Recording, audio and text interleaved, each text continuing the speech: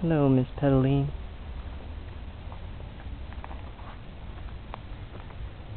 March 29, 2007.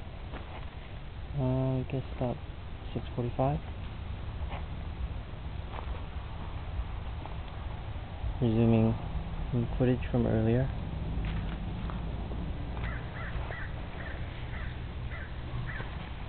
Petaline and I feel like we've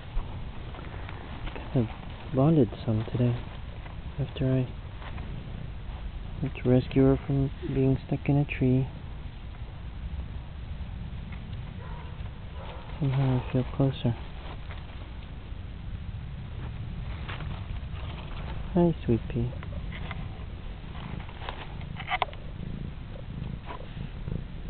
Hi, sweetie.